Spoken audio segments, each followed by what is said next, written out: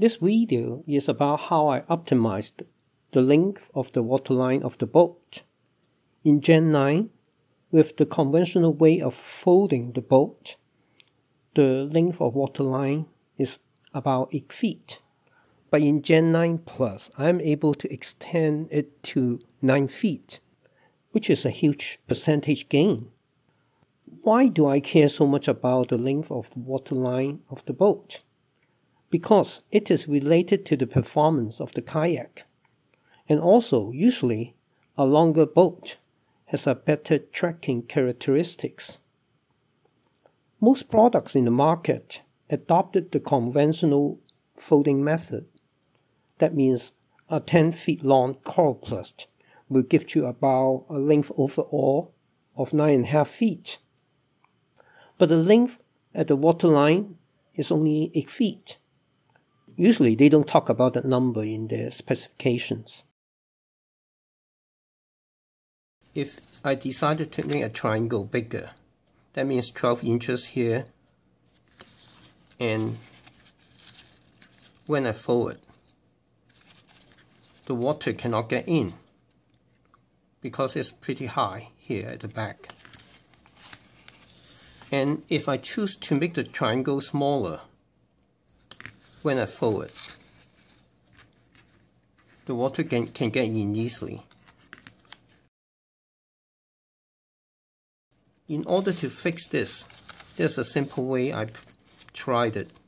Is by attaching another sheet of Coroplast.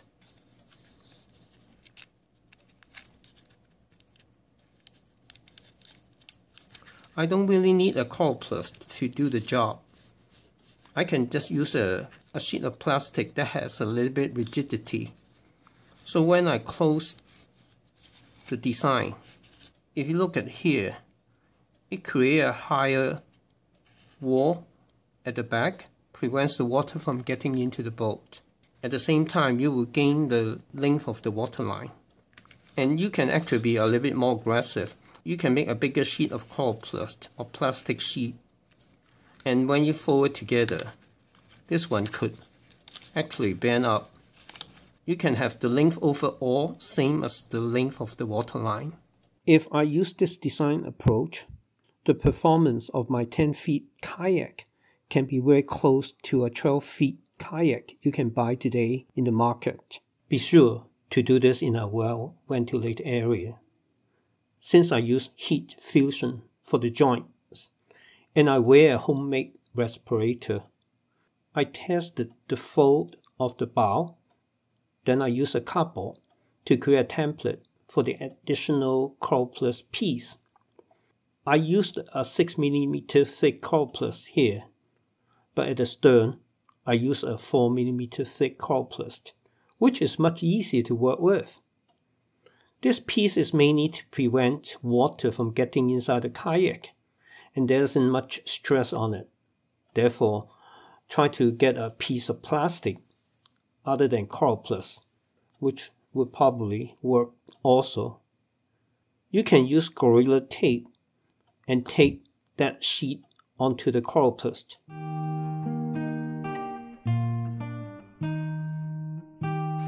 I used heat fusion here. At the first attempt, the joint wasn't very good.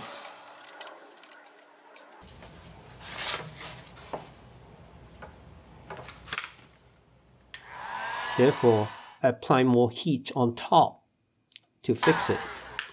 The outcome doesn't look very good at the joint, but it really doesn't matter much.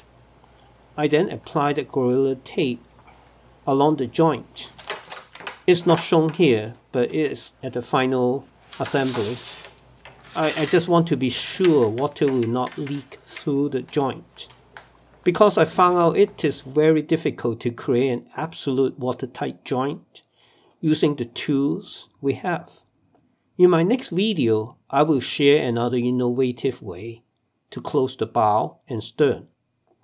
By far, the new way is the best I have come up with. Please subscribe and provide me feedback. I will be glad to hear other suggestions also. Thanks for watching. Bye.